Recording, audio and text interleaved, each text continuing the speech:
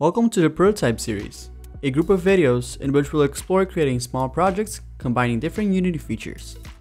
In this episode, we'll give you an overview on how we created the cinematic for a special attack like some popular fighting games.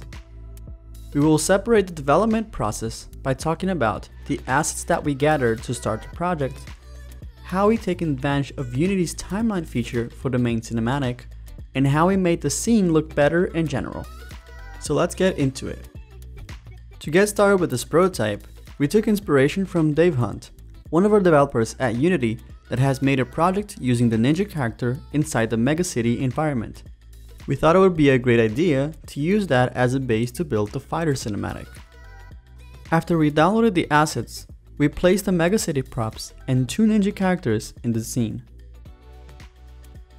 In order to frame both characters in the camera at all times, we used a Cinemachine virtual camera that follows and aims at a Cinemachine target group. The target group allows us to input both character positions and find a middle point between them.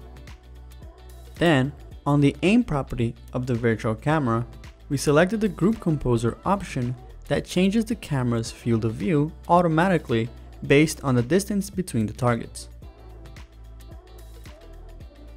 Then it was time to start setting up our special cinematic, and for this we used Timeline. Timeline is a feature which can be used to create linear sequences that are easy to edit. By creating a Cinemachine track, we were able to build smooth transitions between cameras to define different shots at any angle. For this special move, we needed to animate the character as we wanted to make it look like a power was being charged up.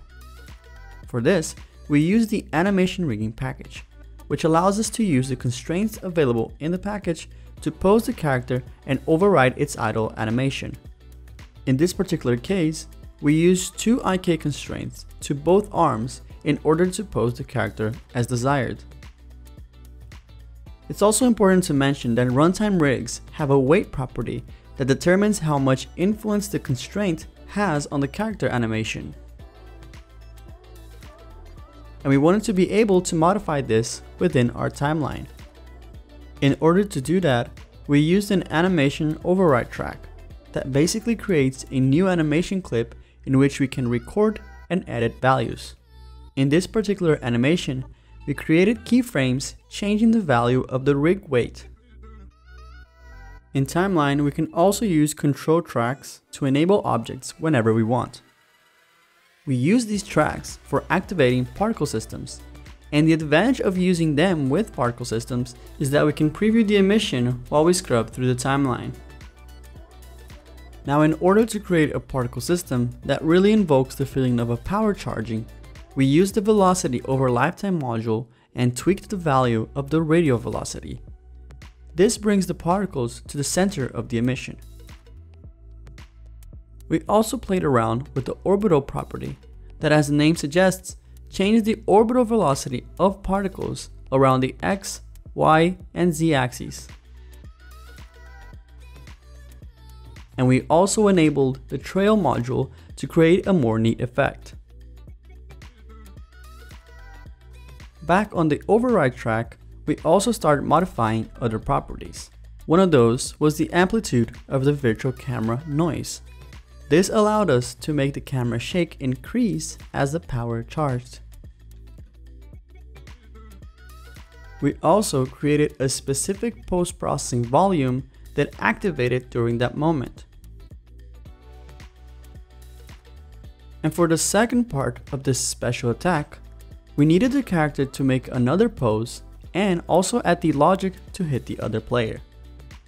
Taking advantage again of the override track, we animated the position of the IK target for both hands. Then we used control tracks to enable other particle emissions.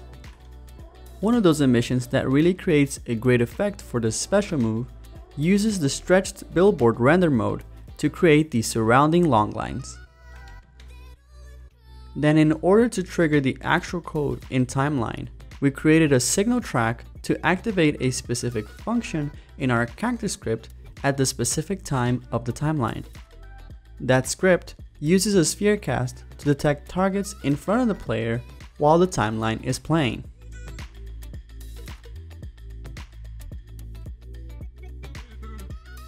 And then of course we added some UI to reflect on these actions.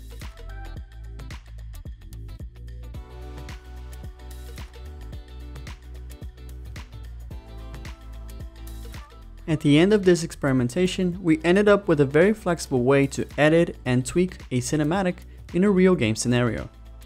Combining features like Cinemachine and Timeline really allowed us to create a good looking special attack. And that's all for today's video.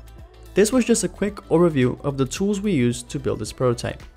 But if you're interested in diving deeper and learning more about the features used to build this demo, we have a link in the description for a longer training session within Unity Learn. Not only that, but you can also download the full project to play around with it. Thanks for watching.